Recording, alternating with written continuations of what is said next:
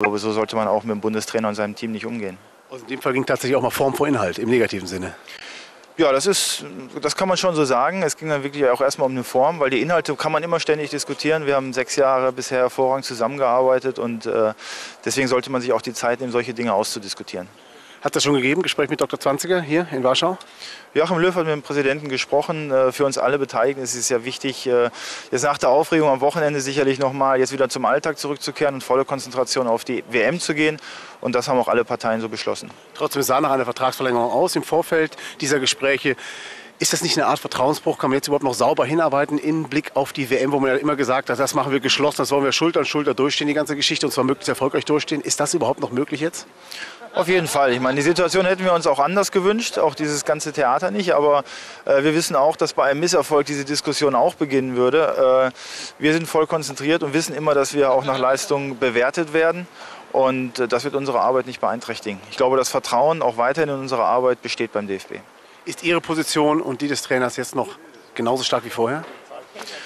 Stark kann sie immer nur durch wieder Leistung sein. Ich glaube, unabhängig von den sportlichen Ergebnissen sieht man auch, dass in den letzten sechs Jahren, was von der Nationalmannschaft oder mit der Nationalmannschaft passiert ist, äh, auch im wirtschaftlichen Bereich, äh, im PR-Bereich, im Medienbereich alles passiert ist, sehr erfolgreich ist. Wir müssen diese Arbeit weiter oder wir wollten diese Arbeit weiter fortsetzen und dafür muss man natürlich auch gewisse Voraussetzungen schaffen ja, Voraussetzungen schaffen, die sind eigentlich ja geschaffen. Auf der anderen Seite, was ich gar nicht verstehe, es geht ja eigentlich weiter. Das ist ja, hört man ja in diesen Tönen, das Säbelrasseln geht deutlich weiter. Und das kann nun wirklich gar nicht im Interesse sein. Ich hatte gedacht, es würden alle jetzt ein bisschen versuchen, das ein bisschen runterzuhalten und wieder aufeinander zugehen. Das ist offensichtlich nicht so. Das heißt, der Schaden wird ja nur noch größer. Ja, das äh, darf nicht sein. Es, es muss äh, auch im Interesse natürlich, auch vor allen Dingen im Interesse auf die WM, muss äh, eine Lösung geschaffen werden. Ich finde, dass Jogi Löw und seine sportliche Gruppe ganz schlecht beraten sind, äh, dieses im Paket durchsetzen zu wollen.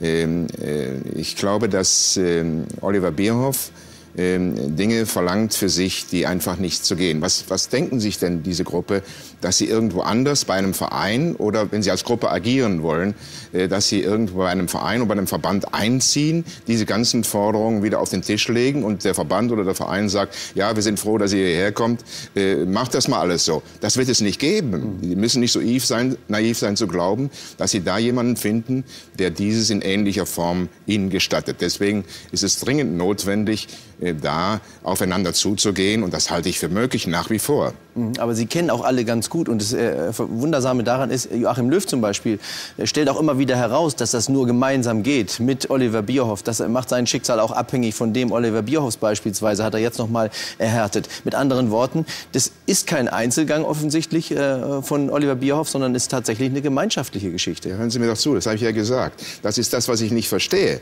Dass, äh, dass Jogi Löw sein Schicksal ganz eng mit Oliver Bierhoff, mit seinen Interessen, seinen vorrangigen Interessen äh, verbindet dass er äh, äh, alles aufs Spiel setzt eigentlich. Jogi Löw äh, als solcher äh, wird einen Job finden. Das ist un, unzweifelhaft. er ist ein erstklassiger Mann, der gesucht ist und da auch etwas tut. Aber, Aber das ist auch interessant, wo Sie sagen, er wird einen Job finden. Das ist ja gar keine Frage. Auf der anderen Seite es ist das Wort schon mal gefallen und heute denkt man immer, das gibt es in der äh, Nationalmannschaft oder bei so großen Verträgen gar nicht. Hat ja doch auch immer noch ein bisschen was mit Ehre zu tun, ehrenvolle Aufgabe. Es ist die Nationalmannschaft, das ist nicht irgend so ein Job, den ja. man mal so aufgibt. Nun, das äh, äh lasse ich nicht zu. Das ist etwas, äh, was ich äh, strikt verteidige. Diese Gruppe um Löw herum sind charakterlich völlig einwandfreie Jungs. Löw als solcher selbstverständlich und auch die anderen. Charakterlich kann man denen nichts vorwerfen. Die wissen auch, dass es um die Nationalmannschaft geht. Persönliche Interessen, wie gesagt, haben sie jetzt in die Hand von Oliver Bierhoff gelegt. Äh, weiß ich nicht, wissend oder unwissend, äh, dass da so viel gefordert wurde, das kann ich nicht beurteilen.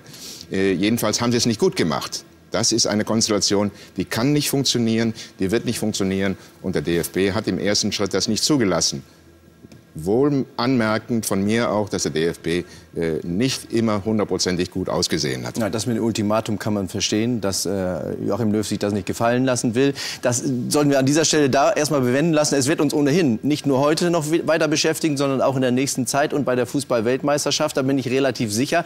Aber heute ist ja auch ein bisschen Fußball-Europameisterschaft 2012, nämlich die Auslosung.